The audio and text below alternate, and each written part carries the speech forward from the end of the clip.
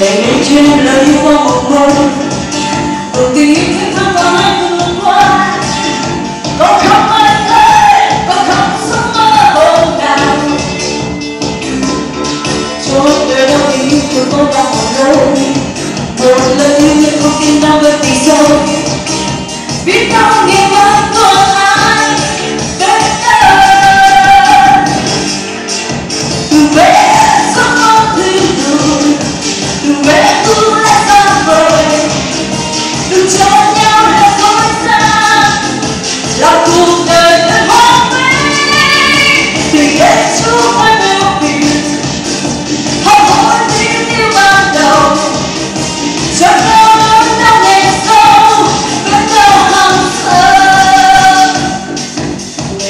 Ngày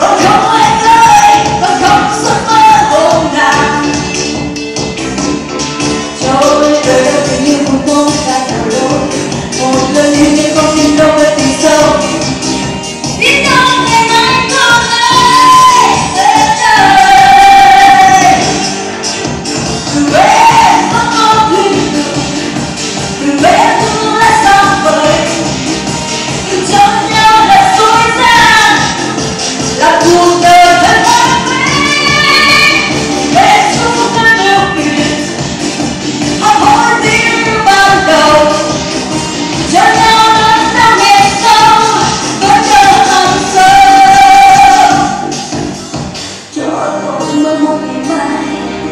Nhìn thấy